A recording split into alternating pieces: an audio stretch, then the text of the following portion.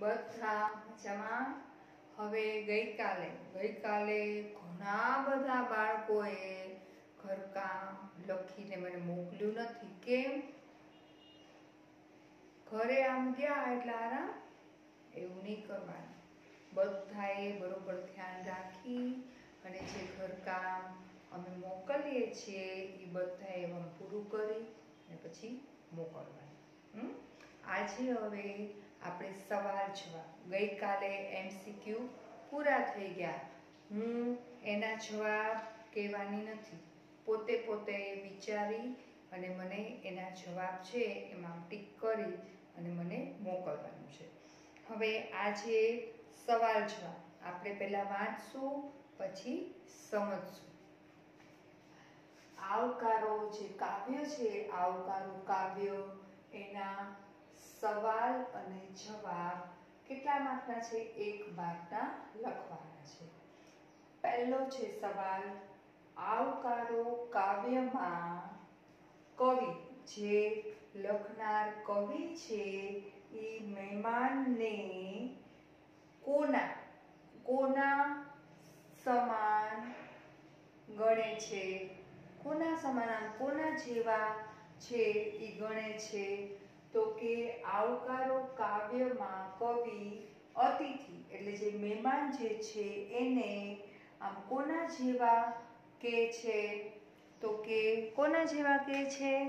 તો કે દેવ જેવા.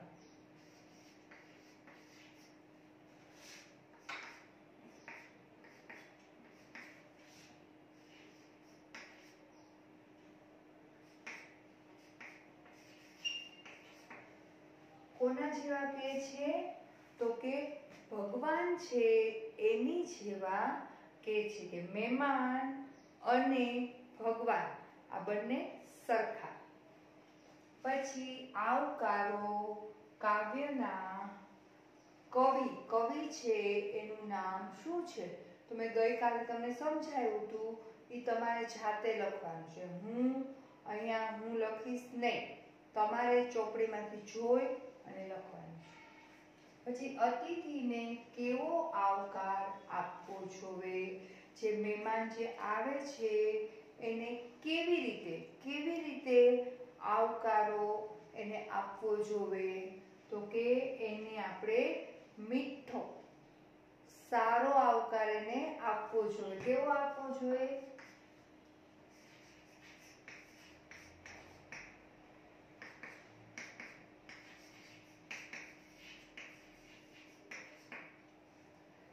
અતિથિ હોય, મહેમાન હોય, એને આપણે કેવો જોઈએ? મીઠો આવકારો એને આપવો જોઈએ.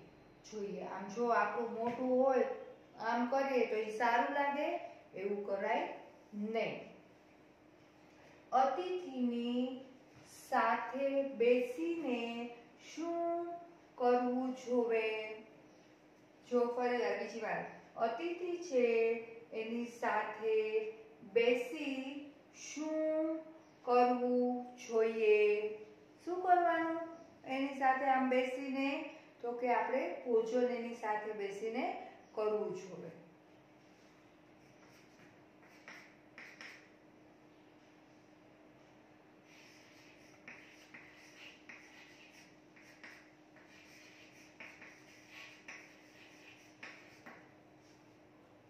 પછી પાંચમો સવાલ છે, અતિથિને મહેમાન છે ને ક્યાં સુધી આવજો, કરવા કરવા જવું જોઈએ આમ આપણે આમ આમ સાથે સાથે આપણે જવું જોઈએ ક્યાં સુધી આમ જવાનું? તો કે, અતિથિને ક્યાં સુધી જવાનું? એનો એક શબ્દ છે, તમારી ચોપડીમાં તમે વાંચજો. ઝાપા સુધી ક્યાં સુધી આમ ગામ છે, ત્યાં પાદર ગામની બહાર, આમ જે દરવાજો છે, ગામ હોય, ત્યાં આમ દરવાજો હોય ખબર? છે જ્યાં આગળ ગામ છે, આમ પૂરું થાય, ત્યાં આગળ એક આમ દરવાજો હોય, ત્યાં સુધી આપણે એને આવજો કરવા જવું જોઈએ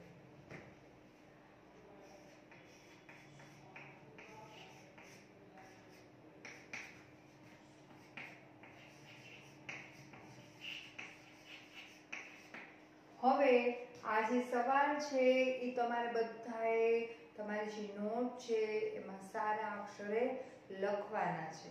અને પછી ઘરકામ છે, એમાં ત્રણ ત્રણ વખત સવાલ એકવાર અને એનો જવાબ છે એ આમ ત્રણ વાર ત્રણ વાર ત્રણ વાર લખી અને મને સેન્ડ કરવાનું છે, હું જોઈશ.